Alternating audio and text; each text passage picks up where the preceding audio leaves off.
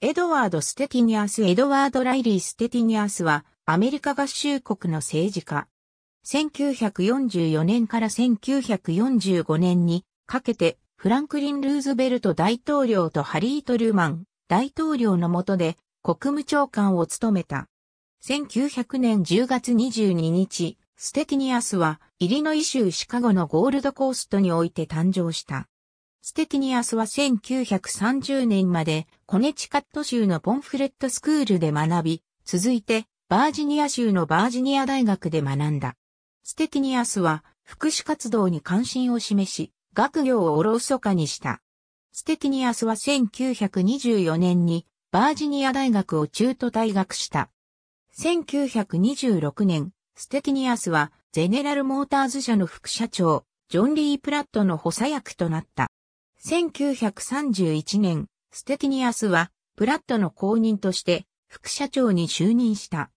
ステティニアスは、ゼネラルモーターズ社において、失業対策事業の展開を行い、一時的に全国復興庁に出向した。その中で、ステティニアスは、フランクリン・ルーズベルトと知り合いになった。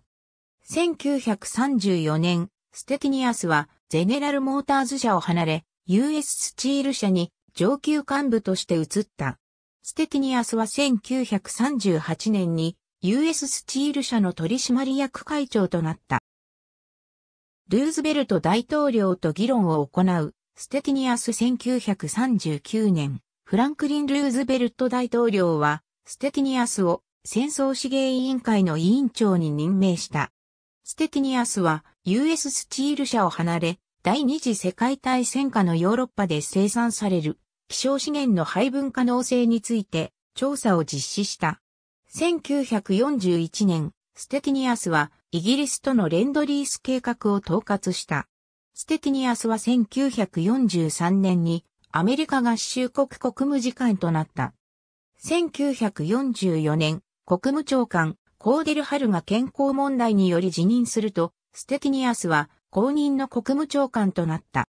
ステティニアスは1945年のサンフランシスコ会議にアメリカ代表団の団長として参加し、国際連合の設立に助力した。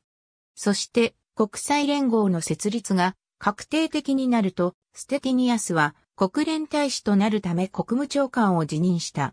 ステティニアスは1946年にアメリカ合衆国の初代国連大使となった。ステティニアスは1949年10月31日にコネチカット州グリーンウィッチにおいて死去した。ステティニアスの遺体はニューヨーク州ローカストのローカスト墓地に埋葬された。妻のバージニア父親は同名のエドワード・ライリー・ステティニアス。母親はジュディス・カーリントンであった。父親はドイツ系移民の子孫であり、母親はイングランド系移民の子孫であった。4人兄弟の第三子であり、上にはウィリアム・カーリントン・ステティニアスとイザベル・ステティニアスが、下にはベティ・ステティニアスがいた。1926年5月15日、ステティニアスはバージニア州リッチモンド出身のバージニア・ゴードン・ウォレスと結婚した。夫妻の間にはエドワード・ライリー・ステティニアスと双子のウォレス・ステティニアス、ジョセフ・ステティニアスの3人の子供が生まれた。ありがとうございます。